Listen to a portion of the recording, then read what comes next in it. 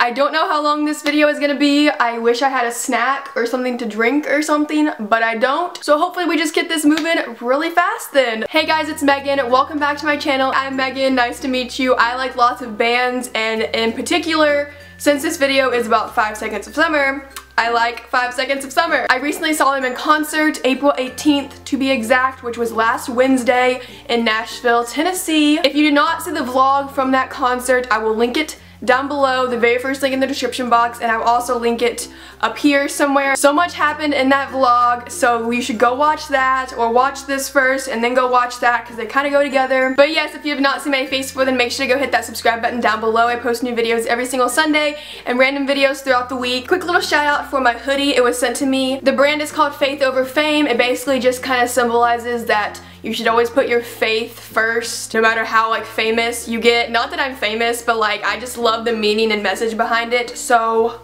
Yes, thanks for the hoodie. If you want one, I'll put the link down below. It's super comfortable. I'm obsessed. It just has like a double F on it and then on the back it says Faith over Fame. Let's just get into the story time. So to start out with, I went with my friend Faith. She lives like an hour, hour and a half away from me, so I went to pick her up on Tuesday night. We got back to Nashville around like 6 or 6.30 or so, and I was like, hey Faith, like let's stop by the venue and see if there's any girls there yet. So we stopped by the venue and there's already like 25 to 30 girls outside the venue that we're all planning on camping out. And when they very first announced this tour, me and Faith thought about camping out, but we called the venue and they said that we couldn't. Um, but of course the venue's gonna say that because they don't want to be reliable or responsible for the girls sleeping outside the venue. So all these girls were camped out like on the other side of the street by the venue, so it technically wasn't the venue's property. And I was like, wait, like Faith, let's totally just camp out here with these girls. Like the first couple of girls that were in line had this like number and wristband system going. Basically when you got there, they gave you a wristband with a number on it, and then they also wrote a number on your hand. Faith was number like 35, I think, and then I was number 36. Right when we got there, I realized that I still needed to shower and get ready and print off our tickets and get food and stuff. So with the wristband and number, you were allowed to leave the line and come back, and like that kind of like saved your spot in line. They were nice enough to let you leave and go get food or like leave for the meet and greet that we had the next day because we were supposed to meet them the next day. So around like 6.30, I dropped Faith off. She stayed in line with a lot of her friends and people she knew there, and I went back to my house showered, got ready, got us food. I literally got us like 50 chicken nuggets from Wendy's. You probably saw that in the vlog. They were really good. And then I printed off our tickets and got us like pillows and blankets, snacks, anything we would need overnight camping outside of a venue. It's so crazy. I literally slept on the sidewalk for five seconds of summer. So I got back to the venue at like 8 or 8.30 and that's when we were there for the night basically. A lot of girls brought like different card games and Uno and snacks and all this stuff. It was so much fun listening to music. They played Harry one Direction, Niall, blackbear, Five Sauce, and it was just like a fun time. Like it was like a fangirl sleepover outside waiting for the concert to happen. Like it was just great. Like I would totally recommend. So like I said, we were still across the street from the venue and for some reason people decided at 2 a.m. when I was almost asleep to move the line to the other side of the street. So now we're like closer to the venue and this is where the line for the concert was going to start. I guess they moved the line like that because they didn't want people to show up early in the morning when we were all still sleeping and like line up on the other side when we were still on the other side, if that makes sense at all. We had to move all of our blankets and pillows and all of our crap to the other side, which is a lot of work at 2 a.m., but like we did it. And then at this point, I fell asleep. I don't think Faith or anyone else really fell asleep. They might have gotten a couple hours of sleep, but I fell asleep around like 2.30ish or something, and then I woke up at like 8 or 8.30 in the morning. So I was surprised that I got a decent amount of sleep, but I love sleep, so at the same time I wasn't surprised. So I was one of the last people to wake up. Everyone else was already like up and just like chilling, talking, getting ready. Some of the girls were already getting ready and like doing their makeup and everything, but I didn't want to get ready. I was just kind of like chilling and like being lazy and just like, what up? And I was also kind of freaking out because it was like the actual day of the concert and like, uh, what? I think around like 11 or 11.30 I went back to my car to get ready. That's what Faith did also. She like got ready in my car. I literally parked like right across the street from the venue. And then at like 1 o'clock is when we left to go to the radio station to meet the boys. ah! This is just where like I just, I I don't think this is real. Like to this day, I don't think this is real. The meet and greet didn't start until like 2.45, but we just like wanted to be early and we got McDonald's on the way and stuff, you know. We also wanted to see them like get there and like pull up to the radio station, which we did. Well, we only saw Luke walk in and he like waved. He was so cute. Me and Faith were both wearing black and white. I had like a black skirt on and a black and white like checkered tank top and then Faith had on a black shirt, black shorts and then like a white like baseball style jersey on top. So we are rocking the neutral colors, you know? And we are like thinking like, oh my gosh, like what if they're all wearing black and white as well? Like we're all like matching for the picture. That'd be so cute. And turns out they were, so. and we ended up being like the sixth, seventh, or eighth person in line. They divided everyone up into four groups. So they let like one group in at a time into the room that they were gonna like sing and everything in. So me and Faith were towards towards the end of the first group, the way the room was set up was there like rows of chairs and then there was like four chairs for them to sit in and all their like instruments and stuff were set up. Me and Faith ended up being in the first row of chairs and by the way Faith won this meet and greet. I've won meet and greets for us in the past like I brought her with me to meet Niall so I guess this was her way of paying me back to like bring me with her to meet Five Sauce so thanks girl.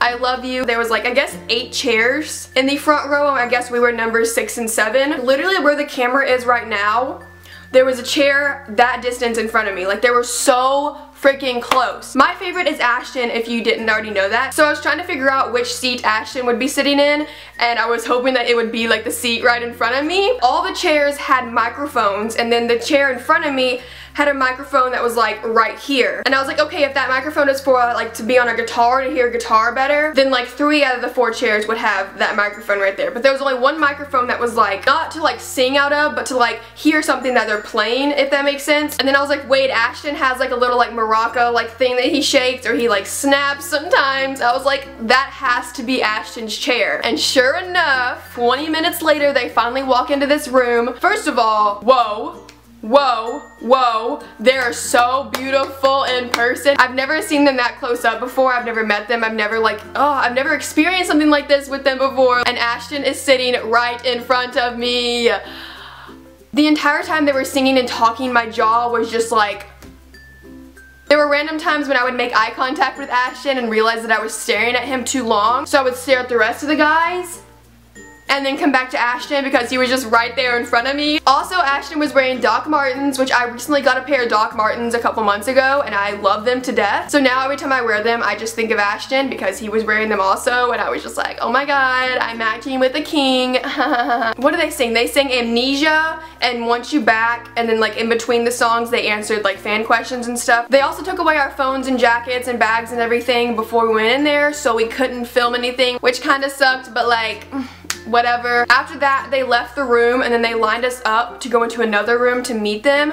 And they literally said, No hugs, no selfies, no nothing. That they would have a photographer there for us to take the picture. And that's it. So literally they were saying, you go in, take a picture, and leave. I don't know about you guys, but I'd rather have a hug than a picture. So the way they were standing, it was Ashton, Luke, Calum, and then Michael. I mainly wanted to be by Ashton, and then my friend Faith mainly wanted to be by Luke. I ended up standing in between Ashton and Luke, and then she stood in front of Luke and Calum. I remember I put my hand around Ashton. I was like, hi. He was like, it's so nice to meet you. And as we were taking the picture, I was like rubbing Ashton's back. He starts rubbing my back. And then after the picture was taken, I was like, thank you so much, Ashton. I wanted the 10 seconds that I did have with them to be more with Ashton because he's my fave. And the whole entire time, Ashton was rubbing my back and he said it was so nice to meet me. That's about it. So after that, me and Faith left and we went back to the line at the venue. At this point, it was like around 4 o'clock or so and the doors opened at 7 o'clock. So we waited like three more hours and they finally opened the doors. And as we were waiting was when they released our meet and greet pictures. Yeah, so if you've not seen it yet, here is our meet and greet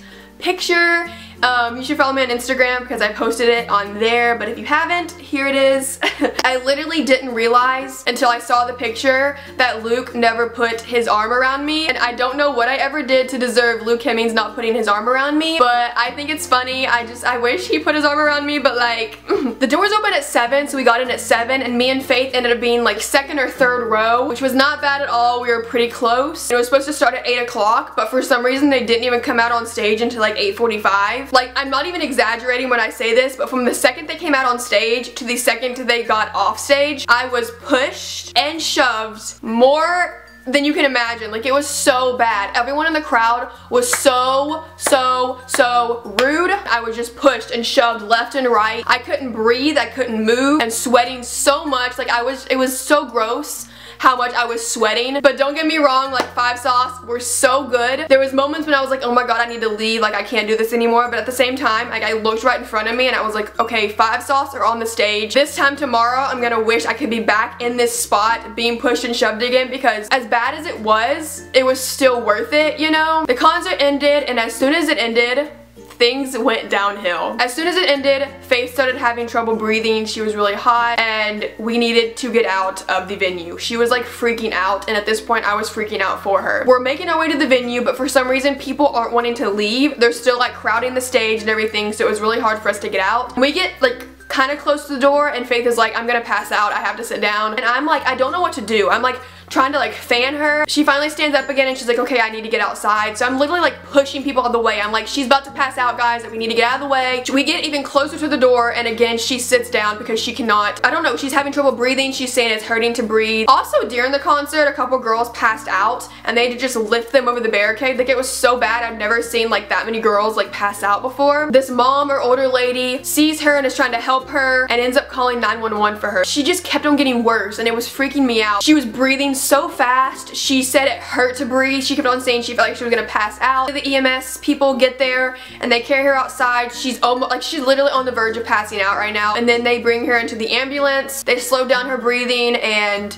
they ended up releasing her. It was super scary. Thankfully, nothing actually like really, really bad happened. There was a total of five ambulances there. Not like because of Five Sauce, but because of the crowd and everything. It was the worst concert I have ever been to. After that, I took Faith home because her mom wanted her home and I totally understand that after everything that happened. That's about it for my Five Sauce concert experience. I really hope you guys enjoyed. If you have any other questions about the day or meeting them or anything, then comment them down below. Oh, I also got um, Ashton's water bottle. I didn't even mention that. It's in my my car. It's like just a little mini water bottle. Part of me thinks it's weird and part of me thinks it's kind of cool. But that's about it for this video. I really hope you guys enjoyed and I will see you guys in my next video. Goodbye.